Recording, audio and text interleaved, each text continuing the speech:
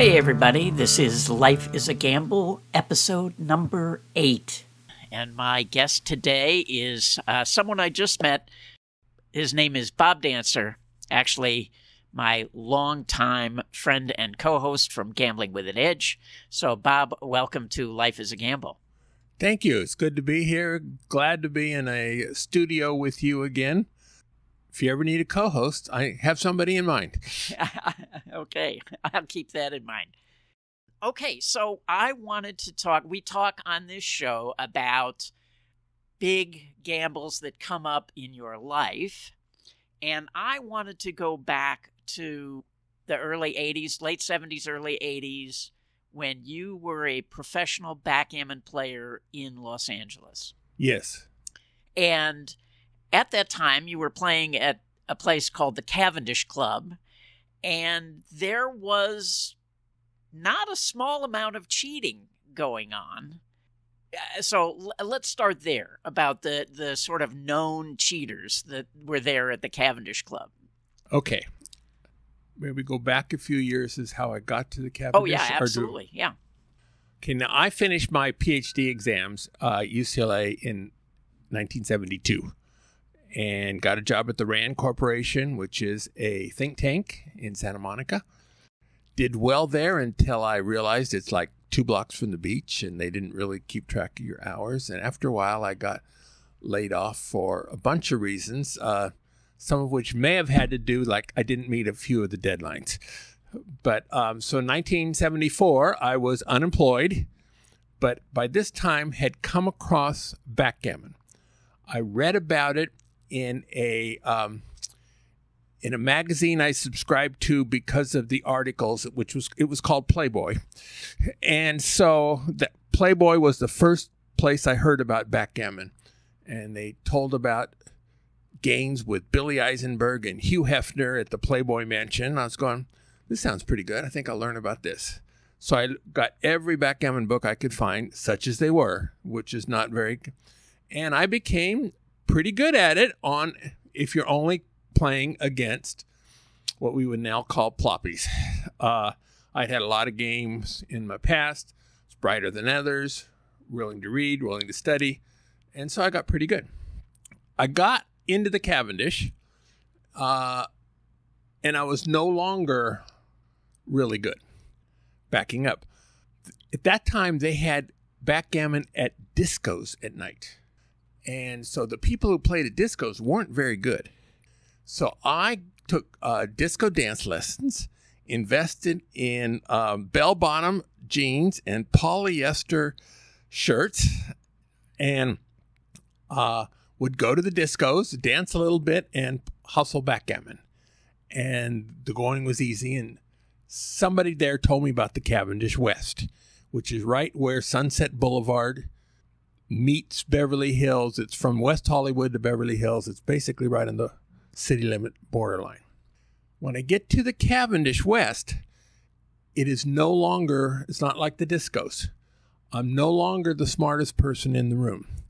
The people, the there were professional gamblers there who were every bit as smart as the people I went to graduate school with, people I worked with at the RAND Corporation, and they had been playing this game longer than I had.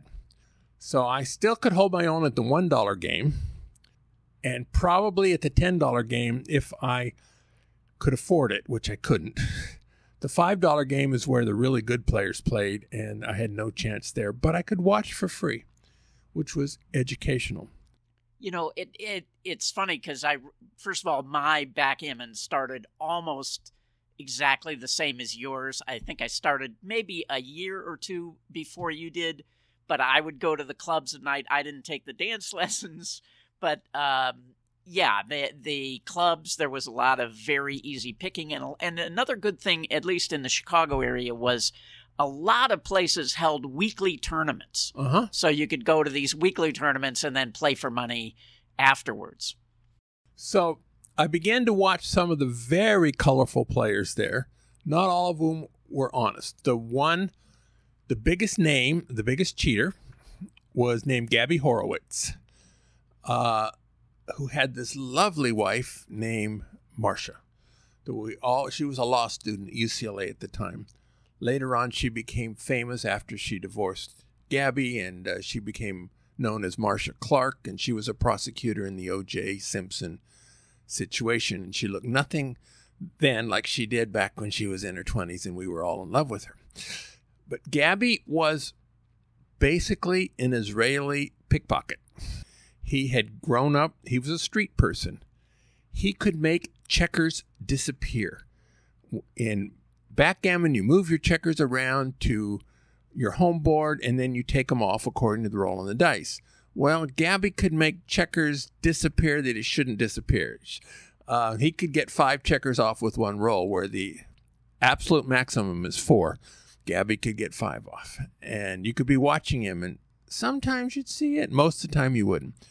He could, when he rolled a six and a four, entitle him to move 10 spaces uh, if if they weren't all blocked. Uh, if it was advantageous to Gabby to move 11, he would quickly just put it down 11 spaces away and uh, pick up his dice. And then uh, most of us at this time were counting out 10 1, 2, 3, 4. And Gabby could tell at a glance how far 10 spaces away and how far 11 was. And so if you go, oh no, it should be back there. And he goes, no, I rolled a 6 5. This is exactly where it's supposed to be.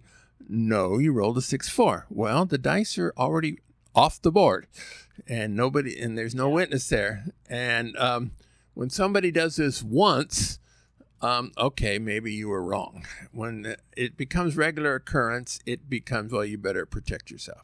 He had co- um, colorful language.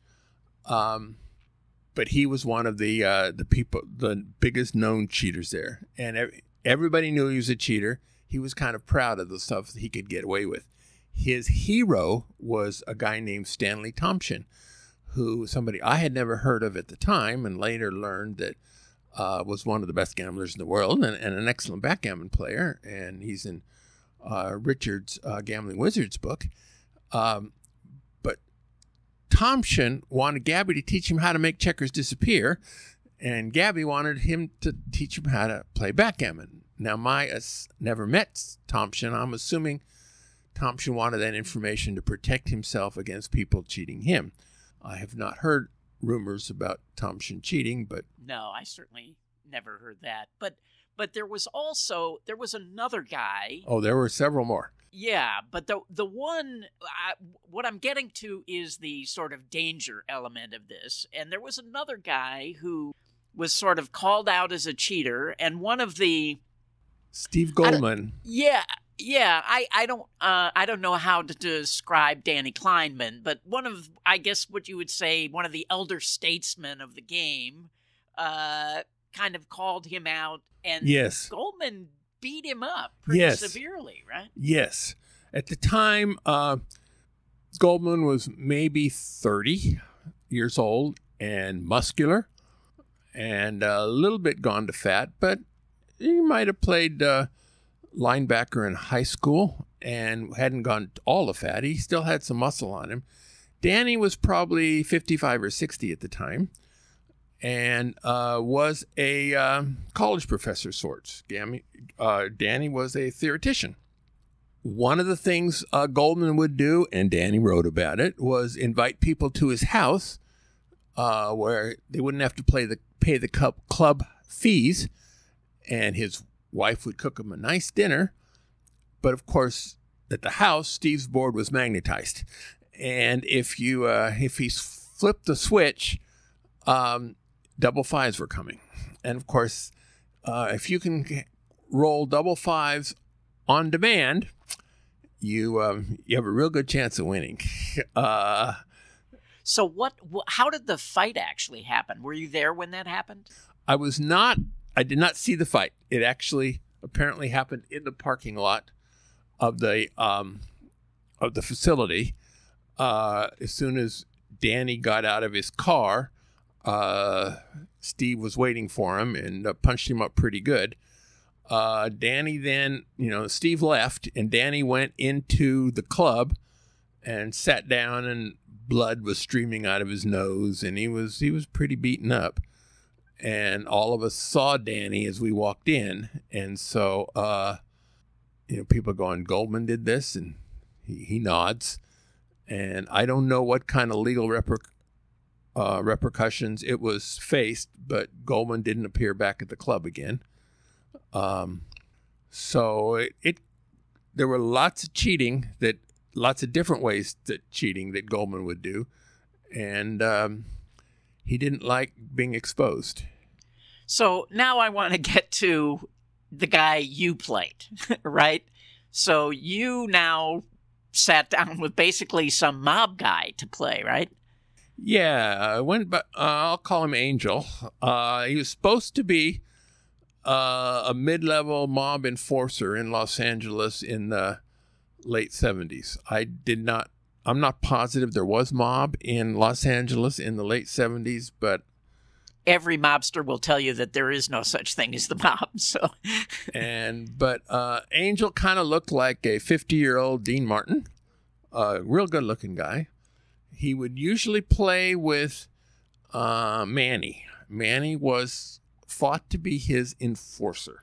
Manny. Wait, Manny was Angel's enforcer? I thought Angel was a mob enforcer. No, Angel was a, a mob boss of sorts. Oh, okay. Uh, then Manny would have been his bodyguard, maybe, or when uh, Angel needed some dirty work done, he would send need collections done. He would send Manny to uh, collect, and when Manny's came to collect, you paid. So they would play by themselves. Uh, frequently in backgammon, you can play a heads-up game, or you can use a chouette, which is three or more players, and there's a rotation system that we don't have to get into now. And so, one of the skills that backgammon players uh, need to learn is to evaluate this, how good your opponents are.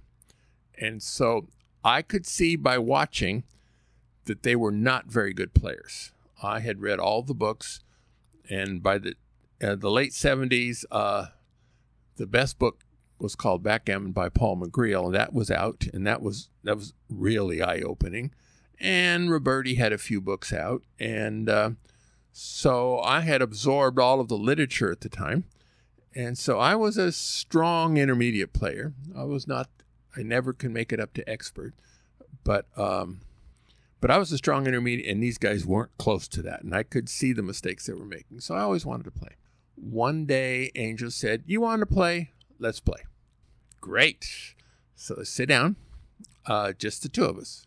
Uh, other people when they saw Angel was willing to play with other people that they wanted in the game too. Angel goes, "No, I'll just play with Bob." So there were there were witnesses watching. So early on, um, well, in backgammon, you shake dice in your cup and roll the dice onto your side of the board. Okay. Uh, Angel rolls the dice a little bit too hard, and one of them falls onto the floor. This happens to everybody occasionally. Uh, no big deal. So Angel tells me he has a really sore back. So he wanted me to re- go down and get the dice. And sure, I was happy to be in the game with Angel. So I went down and I came back and it looked like one of the checkers had been moved one space. I wasn't positive. There are 30 checkers uh, in a um, backgammon game, and they move every move. So um, they so you don't really memorize the position every time. But I was pretty sure uh, it was not where it was supposed to be. So I look at him and looked at him, and he's looking, staring at me, daring me to call him out. Don't say a word. Uh, two or three minutes later, one of his dice falls on the floor again. Bob, my back really hurt. So this time I take time to memorize a position before I went down. Go down. Sure enough, it's changed. So I put the checker back where it belonged. So he said, Are you calling me a cheater?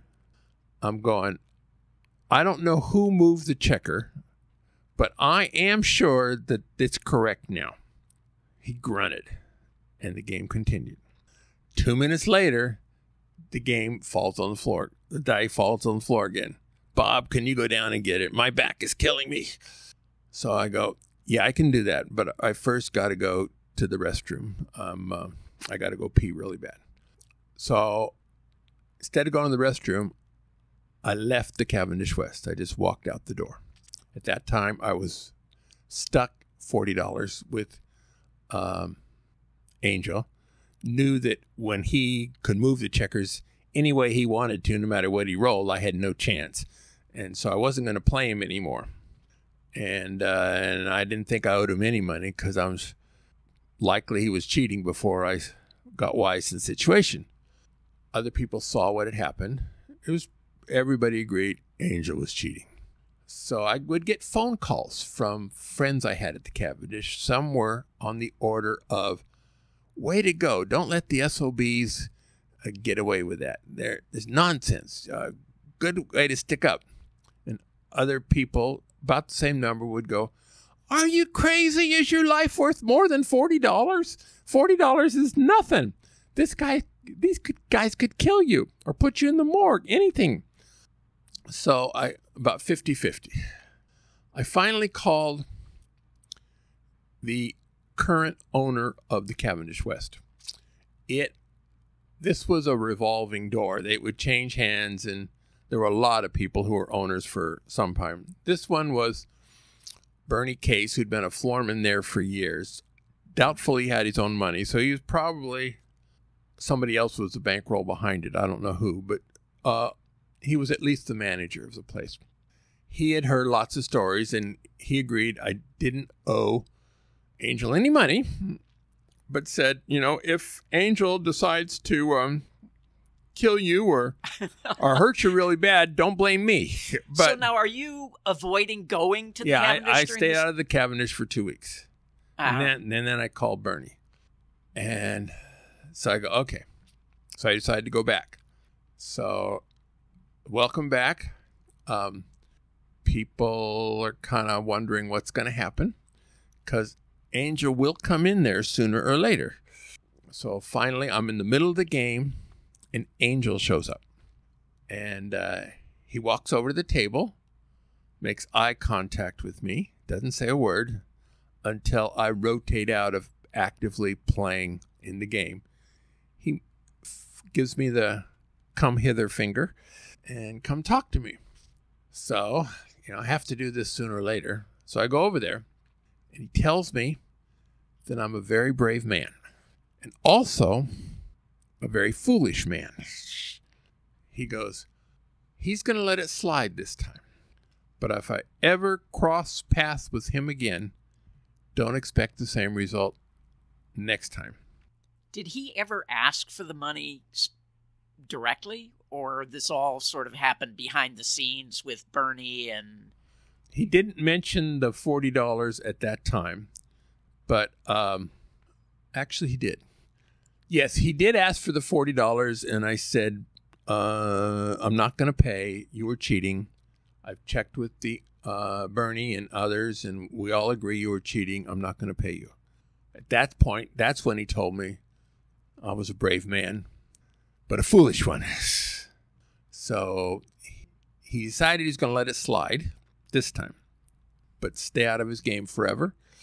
And um, at which point, I promptly went into the restroom and threw up. Wow, literally. Oh yeah, because well, because I didn't know what was going to happen. Um, I came away from the Cavendish knowing a lot more about cheating, and there are a lot of cheaters there that I haven't mentioned, but Yeah. they were there, and there were a lot of techniques. Learned a lot to protect myself, but um, so losing your money playing fairly is one thing. Losing your money because of cheating maybe losing your life because of cheating is something different. I came away feeling I had more to risk from cheating than I did from actually people playing better than me. Yeah, because you get to pick your spots when you're. I mean, to make money, and this is really kind of the reason I gave up backgammon was to really make money at it. You had to seek out basically you know, sick people. You know, the most money comes from degenerate gamblers who are just going to lose their money no matter what, ha- no matter how lucky they get. Eventually, they're just going to find a way to lose all their money, and it just became kind of um, distasteful to me to have to seek that out. That, and in addition, there were just a lot of assholes who, you know, when people are losing their money, they can be really abusive. Uh, and you, ha- if you're the better player and you're there to make money, you have to sit and take it while they, you know, harangue you. Um, Yeah, poker dealers know exactly what Richard is talking about. yeah, yeah. And uh, so that is one of the reasons I never decided to put to become really good, try to become really good at poker, because the same people who play, who are lousy losers at backgammon, are the same type of people who are lousy losers at poker, and they have different methods of cheating at poker, but they're there. Yeah. So, so now I, I play mainly video poker, and I'm not too worried about casinos cheating. I play slots, and there are casinos that I know are not playing fair. Whether it's legal cheating or not, I don't know. But there are casinos here in Vegas and elsewhere who are not, who are taking unfair advantage of players, and you just have to learn what those are, and um, and avoid that situation. Well, and yeah, that's because life is a gamble, right? Because life is a gamble. Yeah. Well, good. Uh, th- thank you for doing this. I think that's a good place to end it. And uh, as a uh, tribute to uh, Gambling with an Edge, we should uh, do a recommended for the end of the show. Do you have a recommended uh, this week? I have a couple. Uh, let me try the first one and see if that goes. I just finished the book called American Prometheus, which is the book, the night, the 2005 book on which the movie Oppenheimer was based. So Oppenheimer is, of course, uh, he was the father of the atomic bomb. He uh, led the um, the Los Alamos um, laboratory where the uh, first atomic bomb was done. Later in life, regretted what he had done. Uh, was taken down by political enemies later. So uh, Prometheus is a uh, person in Greek mythology, maybe, who uh, did really, really well, but they ended up killing him because he had done so well. Well, my recommended uh, is a book that we have been recommending for over a year has finally come out, and that is James Grosjean's new book called The Ultimate Report. And it is a book that has the basic strategy for, I believe it's six of the most popular carnival games in the casinos Ultimate Texas Hold'em, Mississippi Stud, Crisscross Poker. And if you play those games at all, you really need this book because the vast majority of people play these games so horrendously, you would have no chance of ever winning any money uh, just because people play the game so badly. And so this book has a basic strategy for each of those games and, and a simplified basic strategy that is easy to memorize for each of them as well. And so that's if if you like those carnival games and casinos, that is my recommended. I'm actually uh, looking forward to, to to reading that book. One of my biggest disappointments on uh, Gambling with an Edge is James. We never got him on the air. Yeah, well, he was one of those most frequently asked about by listeners saying, "Can you get him?" And I always said no. you know, there are a few guys like that that just uh, you know don't want the Jelko was another one. Yeah, yeah. Um, so, uh, but uh, yeah, I mean, the thing is, even if you don't play the games, uh, he's such a good writer, you know, and so Yeah, so I'm not a carnival game player, but I will definitely read it. I will learn something about video poker by reading James write about carnival games. yeah, He just has um, the things he looks at are good. I've not seen the book yet, and I'm looking forward to picking it up a copy. Yeah. So that's it uh, for this week. And uh, as always, you can reach me at lifeisagamblepod at gmail.com or I'm on Twitter at RWM21. And I'll see you next time.